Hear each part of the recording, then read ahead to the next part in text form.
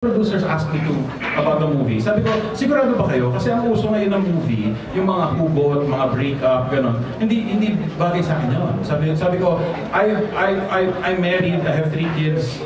Um, we just celebrated our 15th anniversary. We've been together uh, 25 years, 26 years. So, hindi yata akong bagay sa gano'n, di ba? And then, uh, sila Miss Jenny na nagsabi sa akin, no, that's the kind of love story we want para naman hindi, huwag tayo makisabay.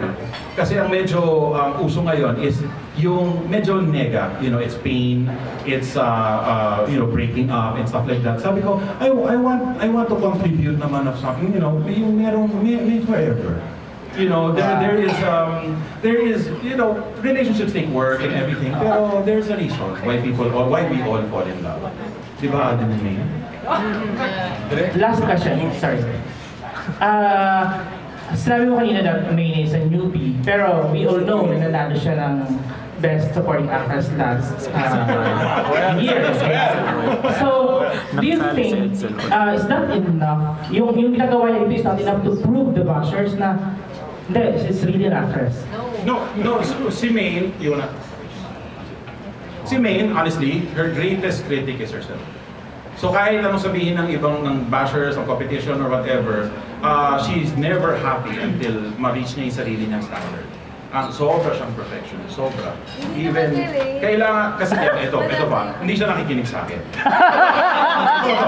so tapos na eksena, okay, kahit nakailang takes na, sabihin ko, perfect, Gal- galing, main, galing. Hindi rin. Ah, ganun siya. Tapos sabi ko, alam ko na to, eh. Alden, pakisabi sa kanya maganda yung take. Kasi hindi siya nakikinig sa akin.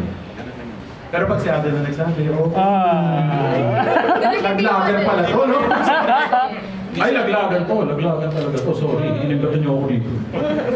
May do you want to add to, to, to that? Hindi. I was never good enough for anyone. ewan ko.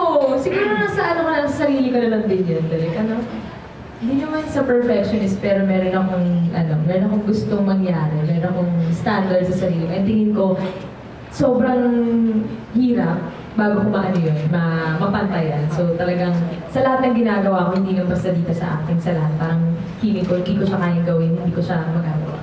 Ko, sobrang pessimist ko kasi din. Kaya ako nandito din para magsabong ng